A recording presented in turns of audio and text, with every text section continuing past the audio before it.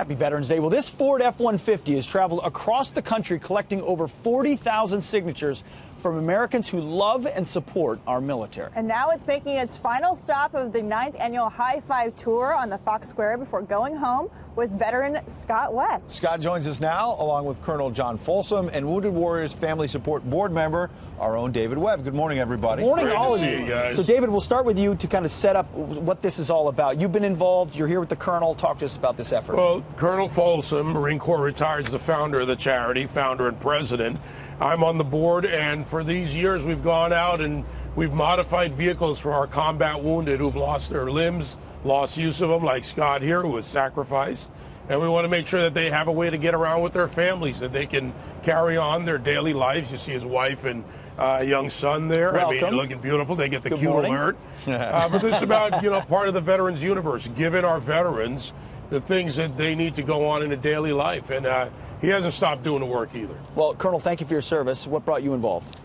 Well, I started out uh, uh, 2003. I found myself recalled to active duty, assigned to European Command, and uh, I got to tell you, it was it was the, the day we invaded uh, Iraq, and I was sitting in front of my computer screen as a liaison officer, and I saw in real time the number of Marine casualties.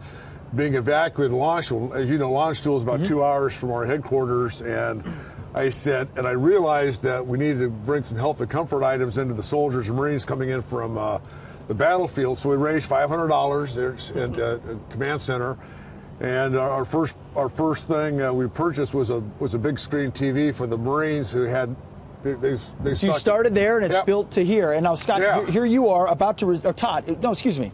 What is it, Scott? Scott, what am I thinking? You're about to, shame on me. You're about to receive this truck for you and your family. It's modified to meet your specific needs. How does, how does, how does that make you feel? overwhelmed. Um, I've been waiting for about four and a half months, and it didn't seem real until today. And here we We're are. going to make it a little bit more real for you. I've got a little surprise for you here. This is from us at Wounded Warriors Family Support. He didn't stop giving back, and he founded Sheepdog Impact Assistance. Here's an additional check for $10,000 for you towards your charity. Thank you. The Wounded Wow. Warriors Family Support. Thank you guys.